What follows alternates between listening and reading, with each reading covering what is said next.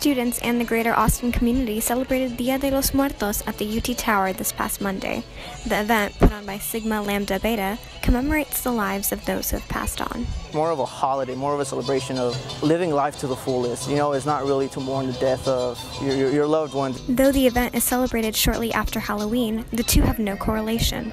Dia de los Muertos, celebrated on November 1st and November 2nd, relates to the Catholic holidays of All Saints' Day and All Souls' Day. From October 31st through November 2nd, the gateway in between the living and the dead is kind of like open and there's more open communication, so it's a way for them to remember, to and to celebrate their lives. Dia de los Muertos is a centuries-age celebration where family and friends come together to commemorate the lives of those who have passed on and celebrate them while eating some great food.